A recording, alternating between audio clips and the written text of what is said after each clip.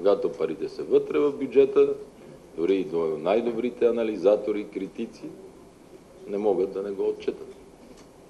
А това е и директен удар срещу корупцията, защото тези пари десетилетия наред замърсяваха не само политическата среда, но и за да се случи всичко това, трябва да имаш задължително митничар, граничар, полицай, бопаджия, прокурор, съдия и разбира се и политически чадър.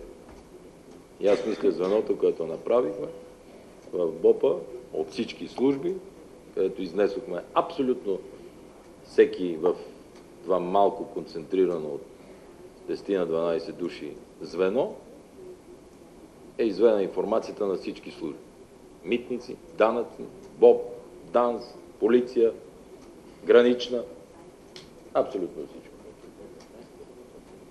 И стотиците, милиарди, милиони, милиарди, които се събраха в бюджета, са.